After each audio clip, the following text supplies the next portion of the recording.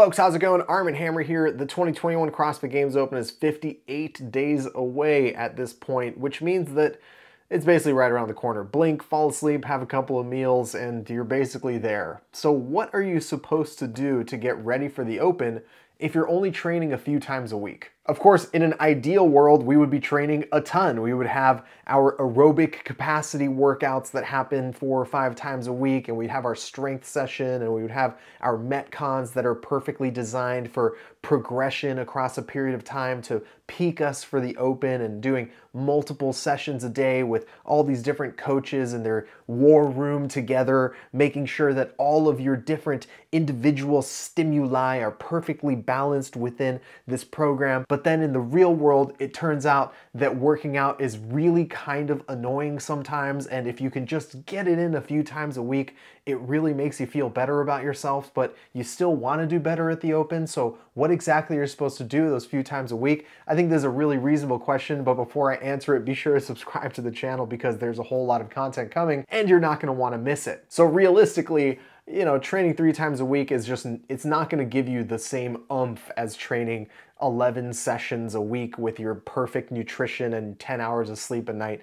But there are still many things that you can gain by putting together a really solid three day plan each week. And the way that I would break that up is you'd have one day that's kind of like your game day recreation. That's the day that you basically pick an open workout from the past and try and go ham at it the same way you would if it was actually the open. I think that's an important thing to fit into your training, especially going into something like the open, since you're gonna get a few weeks, a few workouts, and a few shots to really hit a home run. So you need to practice being able to warm up appropriately, get your heart rate going appropriately, mobilize appropriately so that you can perform your best for that, you know, 6 to 18 minute long workout that you're going to do in the actual open itself. So that is one session each week, but what do you do with the other two? And the other two Honestly, I am a huge fan of interval work, and that's exactly what I would do in those other two sessions. One of those interval work days would be shorter intervals, which I would say, let's say 30 seconds to maybe three minutes in terms of your short intervals. Then the other day would be longer intervals. And with longer intervals, I would say something like 8 minutes to 12 minutes. And I know that there's a gap there. There's the weird gap of what happens between 3 minutes and 8 minutes.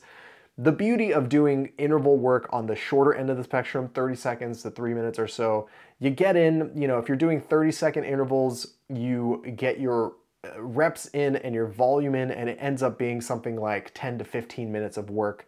And that's probably about right depending on even any of those shorter intervals, your total number of work minutes should be something like 10 to 15 minutes. Maybe a little bit longer if you're really feeling froggy, but five three minute intervals, like just think of it in terms of running a very, very fast, like 800 five times. That's a pretty solid workout. You know, we're gonna get fitter doing that. I think we're gonna get fitter doing that. So think of it that way, or rowing an 800 meter five times, like you're gonna get fitter doing that for sure. So think of that in terms of getting your you know interval work with the short intervals up to maybe a total of 15 minutes of work and that is going to make massive gains for not just those very shorter type workouts but also the things in like the lower medium range so the 5 to 10 minute workouts are going to benefit greatly from having that three minute interval, that two minute interval that you do over and over and over again. The longer intervals, the ones that are eight to 12 minutes long, those are gonna be training you to pace the 15, 20 minute workouts. Those are the ones that you're going to learn from in terms of, okay, how am I supposed to break up a workout that has a 20 minute AMRAP and a ton of different transitions? Or how am I supposed to pace a workout that has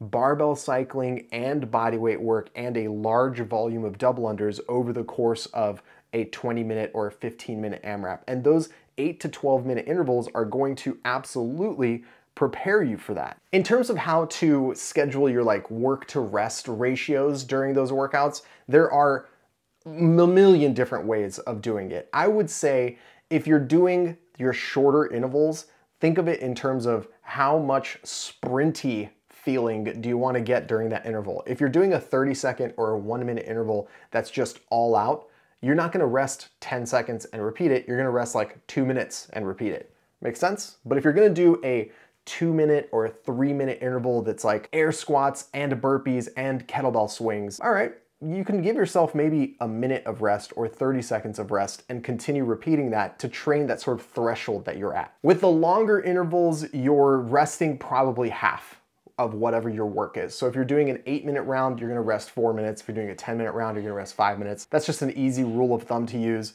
And while I said that the shorter intervals, you're gonna accumulate maybe 15 minutes, 20 minutes at the top end of total work time, on the longer intervals, you're probably looking at 25 to 35 minutes total work time. So, you know, add in your rest and you're looking at maybe a 45 minute or an hour long session to get in those longer intervals, but it pays off incredibly over time. Remember folks, there is obviously a lot happening. There's so many different ways that you could train for the open. There's so many different things that you can focus on and, and you know put your different energies into. And I'm curious what it is that you're putting your time and effort into. Are you just just terrible at burpees and so you're doing burpees four four times a week or something or five times a week just trying to get as much volume in as possible? Or are you focusing on just barbell cycling or are you just still like you know what? I need to get stronger. What are you putting your time and effort into in preparing for this like new strange world of a three week open going into the quarterfinals? And